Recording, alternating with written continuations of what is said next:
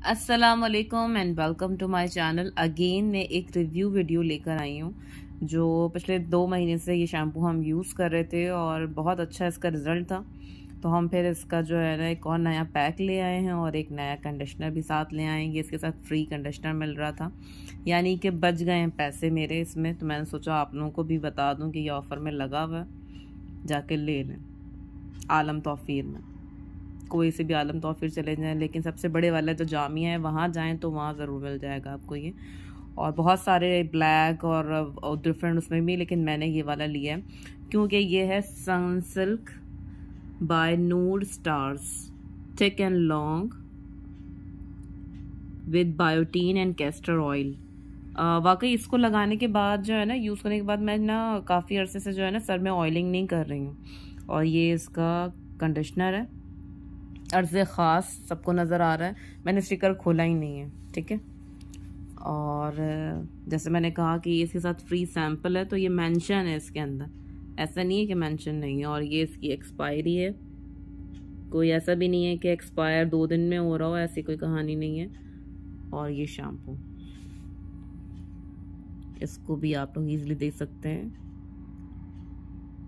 यार, ये हम ये यूट्यूबर्स ही, आप लोगों को बताते हैं कि ये चीज़ कैसी है, ये चीज़ कैसी है, क्योंकि हम लोग प्रोडक्ट रिव्यू करते हैं यूज़ करते हैं और रिव्यू करके फिर आपको बताते हैं। ये नहीं कि फ़र्स्ट टाइम ख़रीद के लाए और आप लोगों को दिखा दिया, ऐसा नहीं है, ठीक है?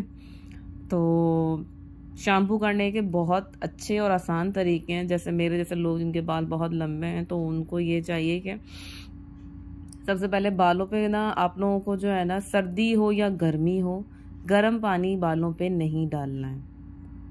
सर्दी भी हो, आपने ठंडे पानी से जो टैप वाटर होता है, नॉर्मल वाटर जो कहलाता है, आपने उसी पे ही अपने बाल धोने होते हैं हमेशा।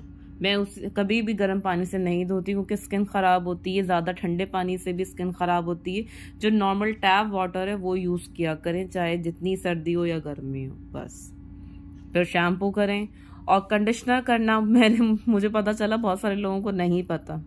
अब मैं नाम नहीं लूँगी, लेकिन एक एक खातून से मुझे पता चला कि उन्हें कंडीशनर यूज़ करना नहीं आता। कंडीशनर जो है ना, वो जड़ों में नहीं लगाते हैं। कभी भी आप अपने बालों से नीचे की तरफ़ की जो जगह होती है ना, जो बाल सुलझाते हैं, उलझते हैं, ये कंडीशनर वहाँ लगता है। आपके रूट्स में नहीं लगता। रूट्स में बेसिकली आप शैम्पू यूज़ कर सकते हैं, लेकिन कंडीशनर नहीं आप रूट्स में लगाएँ। ये हमारा एक्सपीरियंस है कि ना कंडीशनर को रूट्स में नहीं लगाते। और कोई कोई क्वेश्चन हो आपकी उसमें कोई मसला हो तो प्लीज़ मुझे ज़रूर कमेंट्स किया करें वीडियो लाइक करें शेयर करें और हम एक नया चैनल लॉन्च करने वाले हैं न्यू चैनल बनाने वाले हैं। इसके साथ साथ अलग जो डेली ब्लॉगिंग मैं उसमें डालूँगी क्योंकि मैं ये प्रोडक्ट रिव्यू और कुकिंग और ये सब मैं अलग करना चाह रही हूँ। मैं तीसरा एक और चैनल बनाना चाह रही हूँ जो डेली ब्लॉगिंग का हो मेरा। मैं इस चैनल को रिव्यू पे, रिव्यू का कर दूँगी और एक जो है वो फ़ूड का कर दूँगी और एक मैं ब्लॉग का कर दूँगी। तो मैं बहुत सुकून में आ जाऊँगी क्योंकि मेरे समझ नहीं आ रहा होता कि कौन सी वीडियो कहाँ अपलोड करूँ।